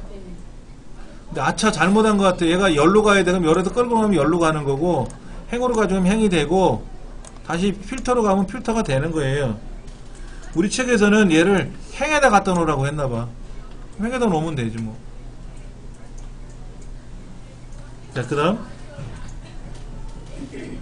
사유, 사유, 사유. 아, 분류구나. 분류를 열에다 놓으래. 분류를 열에다 놓으래.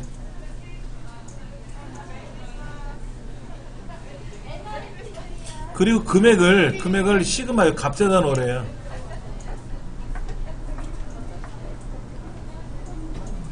그러면 딱 보시기에도, 보세요. 1월 10일 날은 아이라이너 반품 들어왔죠? 그 다음에 여기, 여기, 여기. 4월 3일은 기초 화장품 반품 들어오고 향수 반품 들어왔죠? 비어있는 거는 없는 거예요. 그렇죠?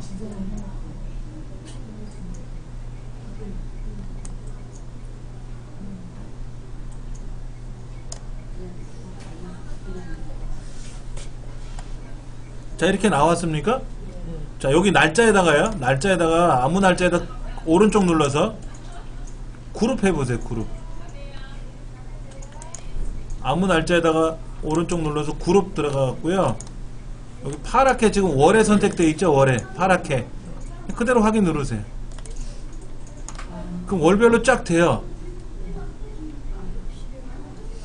아까는 부분합에 들어가서 뭐를 하고 뭐를 하고 뭐를 하고 정렬을 하고 했었는데 지금 어떻게 되냐면 그럴 필요가 없이 그냥 자 이번에는 반품일이라는 이 날짜를요 저 필터로 끌어올릴 거예요. 날짜를 위로 올릴 거야. 그리고 장소를 행에다 끌고 와보세요. 장소. 장소, 장소. 반품 장소를, 반품 장소를, 아까는 없었는데, 반품 장소를 이렇게 끌어다 놓고요. 열 있죠, 열. 분류. 분류랑 반품 장소는 바꿔볼게요. 분류를 밑으로 여기 행으로 가져오고 장소를 열로 끌고 가면 서로 바뀌어요.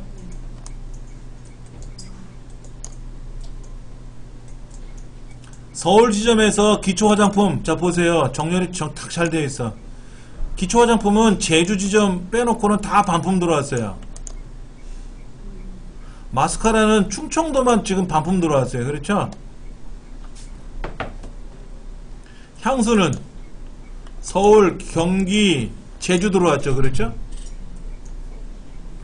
지금 편리한 게 뭐냐면 우리가 아까 지점별로 처리하려면 지점별로 정렬을 해야 되고 여기 있는 항목별로 분류별로 하려면 분류별로 정렬을 해야 되고 막 해야 되는데 그냥 마우스를 끌어다 놓으면 보세요 반품 장소를 분류 밑으로 끌고 오면 또 이렇게 나오고요 분류를 반품 장소 밑으로 끌고 내려오면 또 이렇게도 나오고 얘를 행거열로 까- 따로 따로 놔도 되고 따로 따로 놔도 되고 이렇게.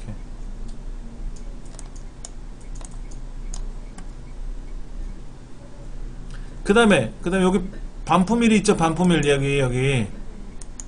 여기 반품일 보이세요? 이거요? 네. 필터 자리. 거기 가서 6월만 선택해 보세요. 6월만. 6월 것만 나와 모두 그럼 다 나오는 거고요.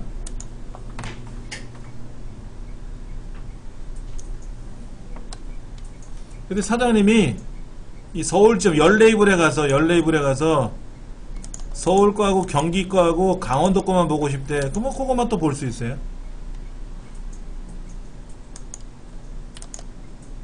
우리가 일반적으로 필터 했던 거랑 똑같이 다 적용이 돼요. 필터도 정, 적용이 되고 부분합도 적용이 되고 대신에 고급 필터에서 조건 거는 거는 없죠 여기는요. 그냥 있는 거 다 나오는 거예요 있는 거 다. 근데 금액 말 지금 합계 구하고 있죠 합계. 합계 말고 다른 거 하고 싶을 때는 어떻게 돼요? 여기 여기 여기 보이세요? 합계라고 된 자리. 본래는 오른쪽 밑으로 처박혀 있어서 제가 끌고 올려온 거예요. 이렇게. 요 합계 금액을 클릭해서 가필드 설정이라고 있어요.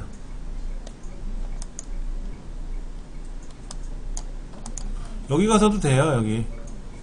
디자인이라고 있잖아요. 옵션 디자인 보이세요? 여기 가면 여기 가서도 답이 처리하는데 자 보시면 여기 합계 금액에 가서 가필드 설정에 가서 얘를 평균으로 바꾸면 평균이 돼요. 여기 있네 여기 여기 정기 지점 말고 금액 숫자가 보이는 자리 있잖아요. 여기다 클릭해 놓고 필드 설정을 눌러 가지고 얘를 개수로 바꾸면 이제 건수야 건수 각 지점별로 건수인데 지금 강원도 지점이 어떻게 됐어요? 세 건이 한꺼번에 반품됐어. 아이라인은 서울 지점이 세 건이 반품됐고 전체 총 가지수는 30가지인데 자 가필드 설정에 가서 최대값으로 바꾸면 최대값이 나오는 거고 합계로 나와라 그럼 합계가 나오는 거고 이런 식으로 내가 마음대로 하는 거예요. 피봇이란 말이요. 이거예요, 이거, 이거. 돌아가는 걸 피봇이라 그래요.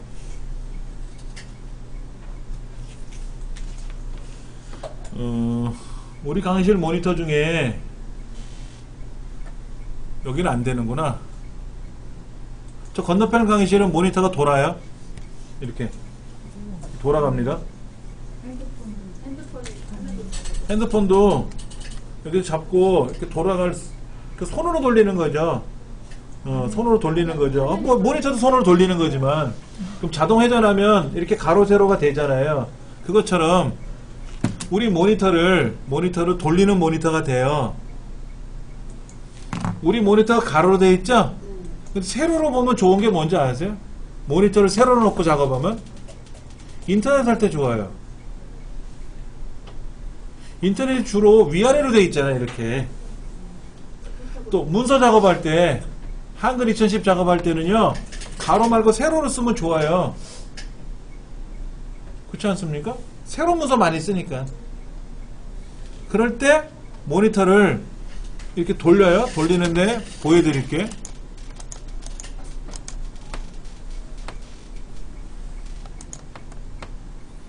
여기에서 화면을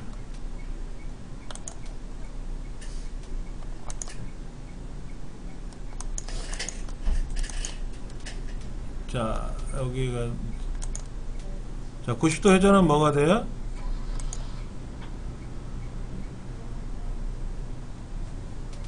쭉 회전이 안 되는데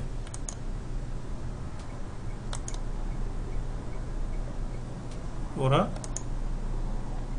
회전이 돼야 되는데 꿈뻑 다시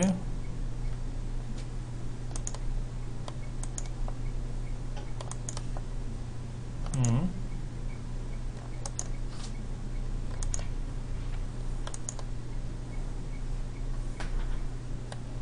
(180도) 회전한 모니터가 (180도) 뒤집어지는 거예요. 그러니까 오른쪽으로 90도를 돌리면 모니터가 이렇게 돌아가는 거예요 이렇게. 이렇게 가로였던 게 세로로 돌아가는 거예요. 현재 여기 작동이 안 되고 있는데 우리 컴퓨터 다 이런 기능이 있어요.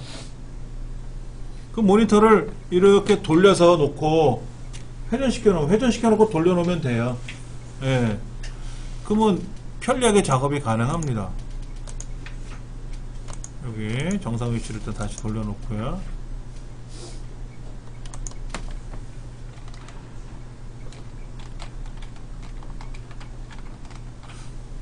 얘는 얘는 좀 그러네. 이 컴퓨터에서 연결되는 게 조금 이상하게 안 돌아가는데요.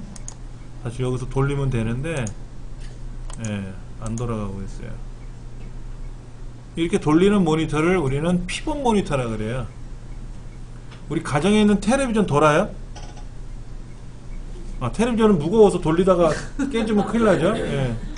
혼나죠? 그런데 벽걸이를 쓰시는 분들 있잖아요. 벽걸이. 벽걸이를 쓰시는 분들은 아 벽에다 이렇게 걸어놨지. 이렇게 걸어놨단 말이야. 이렇게 걸어놓으면 도- 회전이 안 되고요. 이렇게 걸어놓은 게 있어요. 이렇게 이렇게 가운데서 물려가지고 걸어놓은 거 있거든요. 그건 이렇게 돌아가면 몸통이 돌아가요. 이렇게. 예. 근데 텔레비전 길게 보면 또 못 알아. 드라마도 재미없죠. 예. 근데 지금 뭐냐면 엑셀에서 이쪽 행하고 열이 있잖아요. 행하고 열을 제가 이렇게 마우스로 돌리면 돌아가잖아요. 제가 이걸 돌렸잖아요. 지금 이렇게. 그러니까 굳이 모니터를 이렇게 돌아가듯이 이렇게 기준 해가지고 뭐 정식 간격 좌우로 나란히 뭐 이렇게 하고 원위치 뭐 이렇게 하지 않습니까? 그런 것처럼 이렇게 돌리면 되는 거예요. 이렇게 돌리는데 반품 기준, 반품 장소를 기준으로 반품 장소를 기준으로 분류가 올 수 있고 분류별로 장소가 올 수도 있고 따로따로 볼 수도 있고 이렇게 내 마음대로 볼 수 있다 이거지. 그리고 합계도 보지만 합계가 아니라 이거를 뭐로 건수도 볼 수 있어. 건수 개수로. 아까는 합계만 봤죠? 아까는 합계 하나만 봤잖아요. 이 금액을 클릭 드래그하면 금액을 드래그하면 예. 개수가 나와요, 개수. 여기는 3건 65,500원. 22,700원 2건 하고 개수도 나와요. 더 땡기면 돼요. 이렇게 얘를 더 땡기면 하나 더 나옵니다. 여기다 놓고 뭐를 해라고요? 값필드 설정에 들어가서 최대 평균을 바꾸면 어떻게 돼요? 이제는 합계 개수 평균 나오는 거예요. 평균 금액 개수 이렇게. 그래서 내 마음대로 이거를 돌려가면서 볼 수 있다라 하는 거죠. 네. 그것이 피벗 테이블입니다.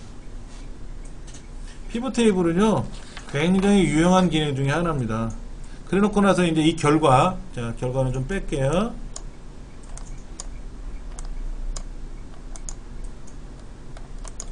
다시 합교로 바꿔놓고. 이 결과가 있는데, 결과가 보기 싫으면, 이 디자인에 가서, 요 위에 디자인 보이세요? 이 중에 하나 고르세요, 이렇게. 이렇게 고르시면, 모양새 이렇게 변합니다. 고르시면 이렇게 변하는 거예요.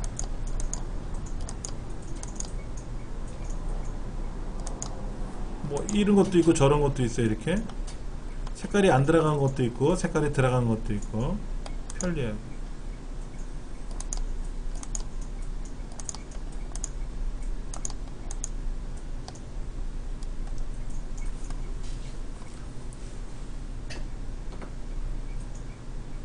책에 지금 그 10번, 11번 보기 보면 피벗 테이블 스타일을 꾸며라 이렇게 피벗 테이블 스타일을 꾸며라 하는 거 정도 나오니까는 여러분이 원하는 대로 선택해서 꾸미실 수가 있고요. 이걸 색깔별로 꾸밀 수도 있고 이렇게 예. 편리하게 하더라 하는 거죠. 자 그러면 열기 눌러서 아까 그 혼자서라고 있었어요. 데이터베이스 혼자서. 얘를 여셔가지고 자동 필터, 고급 필터, 고급 필터, 부부나 피벗 테이블이 있는데 이 자동 필터에 가서 203페이지. 203페이지 1번 2번 3번 4번 나와 있잖아요. 그럼 한번 풀어보세요. 예, 예, 좀 이따 와서 설명해 드릴 테니까 어, 지점별 예금 현황에서 지금 필터에 가서 하는 거죠? 자동 필터. 그러면 일단은 데이터에 가서 필터 버튼만 누르시면 쭉 뜨죠. 그렇죠? 그 다음에 예금 종류를 뭐로 바꿔라? 보- 저축 예금 정기적금이죠? 정기적금. 정기적금만 쭉 걸러졌고요 예금 잔액 중에서 숫자 필터에 가서 숫자 필터에 가서 크거나 같음 얼마? 3천만원. 그러면 이제 3천만원 이상 있는 것만 쫙 걸러지는 거예요. 조건이 두 개죠? 조건이 두개. 정기적금이면서 3천만원 이상. 자 고급 필터는 어떻게 하래요? 여기다 조건을 걸으라 그래요 음, 답이 있네. 음. 자, 개설 지점이 개설 지점이 여기 개설 지점이 어느 지점이라고요? 분당 지점. 그 다음에 개설 일자가 어, 2001년 11년 1월 1일 이후니까 크거나 같다. 2011년 01월 01일 이렇게 조건을 걸면 되고요. 그 다음에 원 데이터에다 클릭해 놓고 고급 들어가면 알아서 쫙 블럭 잡아요.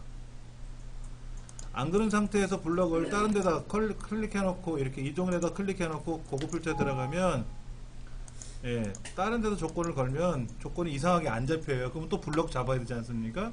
그래서 원 데이터에다 클릭해 놓고 고급 필터를 들어가면 알아서 블럭을 딱 잡아줍니다. 그리고 조건 범위는 요 동네고요. 근데 다른 장소에 복사할 거고요. 그 장소 복사되는 위치는 40번째라고 되어 있어요. 확인 누르면 촥 너무 많은데?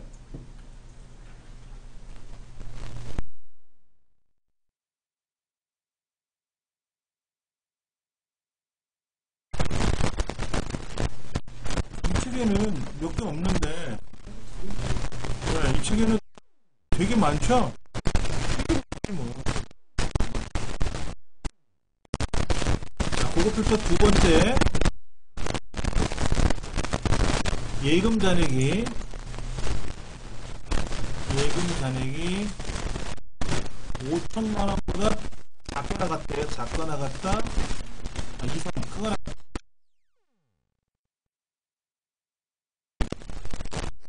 이상해야 되고요. 또 하나는 예금 종류가 어, 예금이라는 글자가 들어가면 된대요. 자 보세요. 예금이라는 글자가 들어가는 거는 뭐예요? 여기 정기 적금, 당좌 예금, 예금 이거 되죠? 보통 예금, 정기 정기 적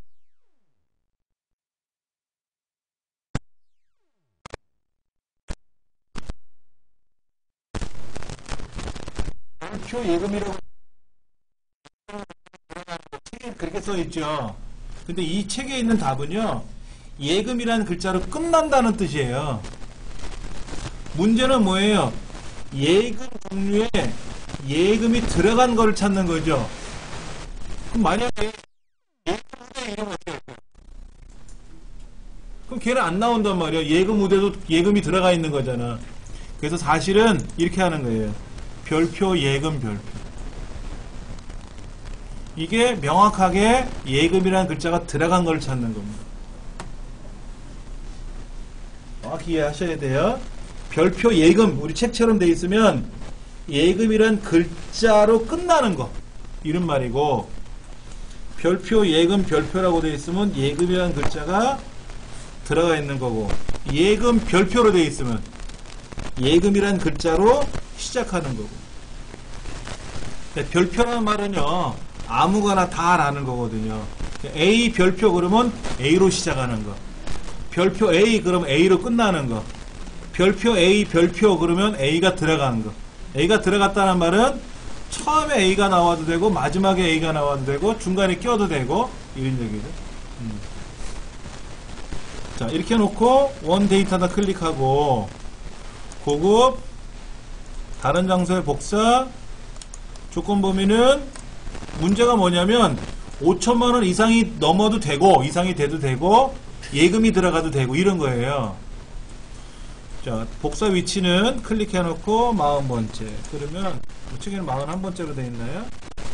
그러면 이제 41번째 이렇게 나오는 만약에 얘가 이렇게 돼 있으면 어떻게 돼 이렇게 5천만 원 이상인 예금 이거죠. 근데 지금은 둘이 다르니까 5천만 원 이상이거나 예금이거나 이런 거죠. 예.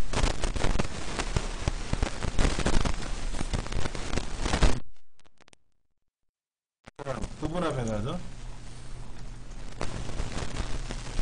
지금 보면은 개설 지점별로 뭐가 답이 나온 것 같아요. 지금 그 4번에 보면은 부분합 시트에서 부분합을 지정하는데 그룹화 항목이 개설 지점이죠. 그러면 개설 지점이란 동네에다 클릭해 놓고 오른차순 정렬 하셔야 돼. 정렬을 해서 강남은 강남끼리 분당은 분당끼리 모아야 돼요. 그리고 부분합에 가서 당연히 개설 지점별로 그룹을 시켜야 되고요. 담보대출 가능액이 아니라 예금 잔액에 대한 합계 근데 합계라고 하면 요약이라고 떠요 요약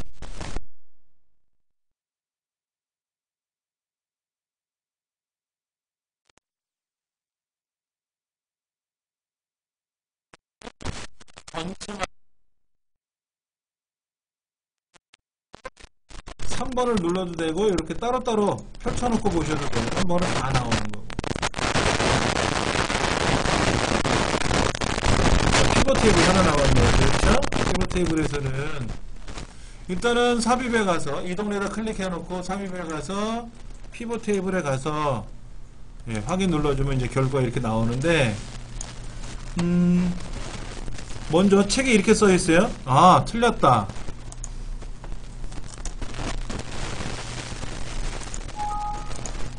현재 시트가 이거잖아요. 여기 I 세 번째 여기서부터 출력하라고 되어 있는데요. 자, 다시.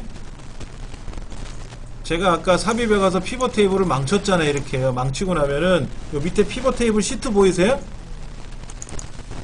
여기 보면 피벗 테이블 시트라고 있잖아요. 밑에요. 요거 요거 요거 요거 여기 여기 시트 2번 요거 요거 요거. 얘를 삭제하세요. 삭제하시고 다시 하셔야 돼요. 자, 다시 삽입 피벗 테이블에 가서 기존 워크시트에 갈 거고요.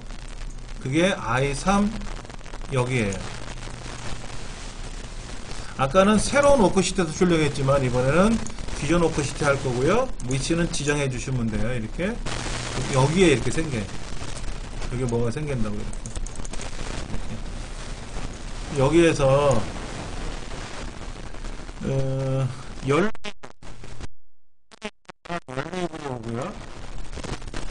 개설 지점이 행 레이블이 오고요.